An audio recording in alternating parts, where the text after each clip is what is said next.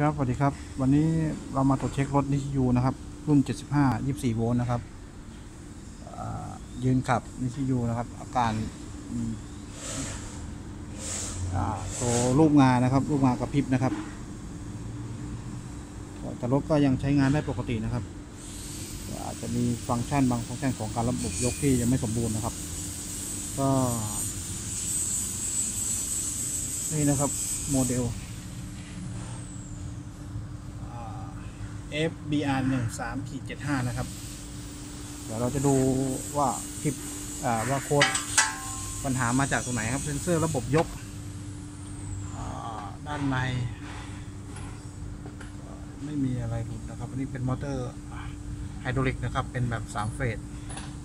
6 กิโลวัตต์นะครับ 6 กิโลวัตต์ไลท์ก็เหมือนกันนะครับ แต่ drive นี่จะแค่ 2.6 กิโลวัตต์นะครับ เพราะฉะนั้นชุดยกเนี่ยกำลังจะเยอะกว่านะครับอ่านึ่งลูกปืนเซนเซอร์ สายเซนเซอร์ก็ยังปกตินะครับเซนเซอร์ด้านหลังของชุดระบบยกก็ไม่ยังไม่มีปัญหาใดๆนะเท่าที่ดู เดี๋ยวยังมีเซนเซอร์ด้านหน้าครับเดี๋ยวเราไปดูเซนเซอร์ด้านหน้าของชุดยกจะมีปัญหาไหม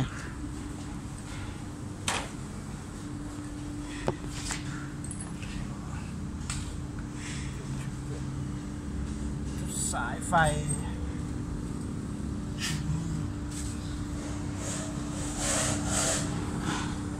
อ๋อ ชุดนี้ครับ ชุดนี้แตกครับ